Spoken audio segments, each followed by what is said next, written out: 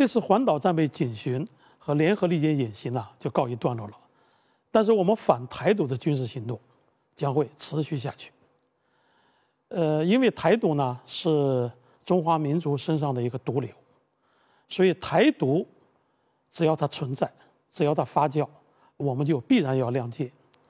中国人民解放军的神圣使命就是维护国家的主权、领土安全，维护国家的统一，坚决反击。这个任何分裂势力，所以只要台独分裂势力还在，我们就要有不断的有军事行动，直至把台独分裂势力呢最后彻底消灭。就是说，因为我们的军事行动针对的就是台独，是台独势力、台独分子、台独活动，这个东西呢确实就像一个紧箍咒，所以台独势力每跳一次，我们就不断的要给它紧一次，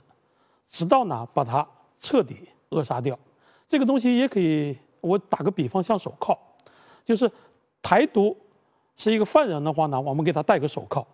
他每次要动一下，那个手铐就会紧一下，因为那个螺扣呢，它是朝一个方向转的，直到他彻底的动不了为止。